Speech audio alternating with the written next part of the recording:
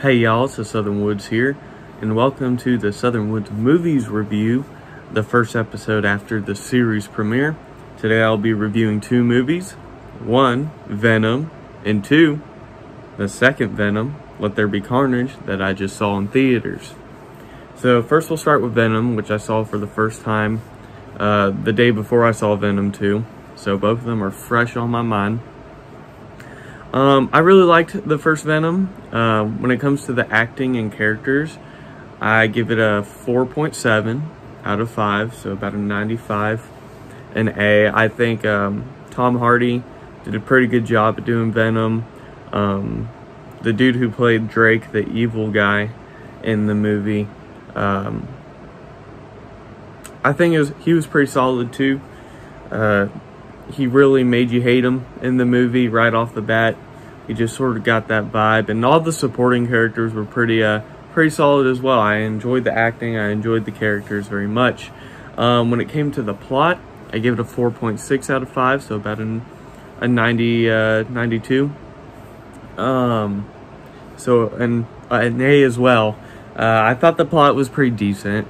Um, I don't want to ruin it too much for um, anyone who hasn't watched it, but I think the plot was decent. I mean, there wasn't too many curveballs, but it, it was somewhat unique, and it paid homage to the comics a little bit, so um, that was alright. The ending was, in my opinion, the worst part of the movie, but it's still solid. I gave it a 4.5, so a 90 out of 100. Um, it was a solid ending. Can't complain too much. Not the best ending ever, but I think most people would be happy with it.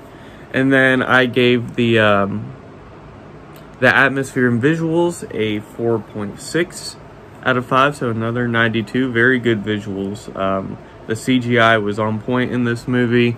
Um, the audio, uh, all the sounds in the movie were pretty good as well. Um, I enjoyed it very much.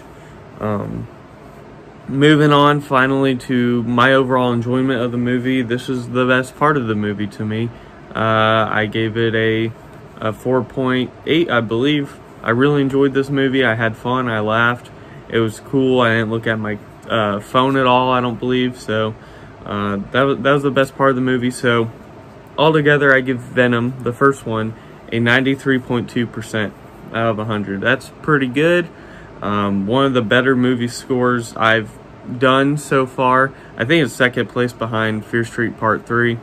Um, but as I said before, just because I give it a really high score, that just means how good of a movie I think it is. It doesn't necessarily mean that, you know, I really like the movie or it's my favorite. Um, but in this case, it is. I really like Venom, and I gave it a very high score. I gave it a solid A. So that is the first Venom. Now I will review Venom 2, the new one, which most people are probably, you know, here to see. Um, Let There Be Carnage. Alright, so Venom 2, Let There Be Carnage. Um, do I like the second Venom off the bat better than the first one? I'm going to say no, but just barely, slightly. Um, and I guess you'll see why. You'll see why. When it comes to the the acting and characters, I give it a 4.5 out of 5, so a 90%, which is a little bit less than the first Venom. Um, and most of the main characters, except the bad guys, are in there. Um, and I'm not saying Woody Harrelson did bad at all. I love Woody Harrelson. He's one of my top five favorite actors.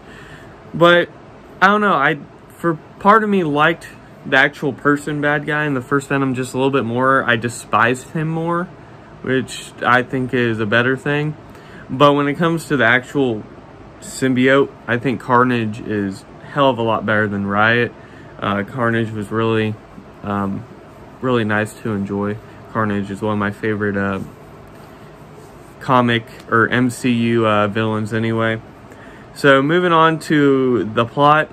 This was, I think, the worst part of the movie, or worst category, in my opinion. I give it a 4.3 out of 5, so about an 86. Um, a B. And the plot isn't necessarily bad, but I don't know, I feel like there's just uh, some things left missing that you sort of question throughout the movie, and um, the premise isn't as deep. It's a uh, kind of vague. It's, you know, you can kind of tell it's almost a revenge love sort of thing. And I don't know, there's not there's not many curveballs at all, just like the first Venom, but I feel like there was a lot less um, depth into the plot in this movie. Um, going on to the ending though, I gave that a 4.5 out of 5, so a 90.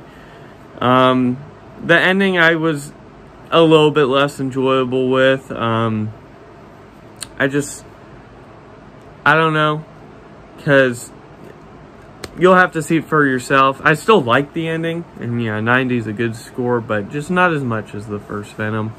Uh, moving on to the atmosphere and visuals, I gave that a, uh, I believe I gave that a 4.7. So I think that was the best part of this movie. The atmospheres and visuals were very good, just like the first Venom. When it comes to pure visuals, I want to say the first Venom is slightly better, but when it comes to the audio part of it, I think the Venom 2 Let There Be Carnage edges it out, so it's about the same. Um, uh, Let There Be Carnage is just a, a very great visual and audio movie overall. So good score. And then finally, my overall enjoyment is a 4.5 out of 5. So 0.2 lower than uh, the first Venom. I enjoyed it. I, I don't think I laughed as much. Um, and I think I may have checked my my phone once. Um, it's, it's the action's good. You know, it's a great movie. I I just I didn't think it was as funny in my opinion, maybe. But that's just me. But overall, Venom 2 Let There Be Carnage gets a 90% out of 100. Still an A, still a great score. Both of them are great movies. I definitely recommend seeing Venom 2 Carnage in theaters if you can. I don't know when this video will be out. Hopefully Venom 2 will still be in theaters by the time this video is out. But with my schedule, I don't know. Um, but yeah, I recommend both. Very good scores for both of them, and they were great movies. Southern Woods out.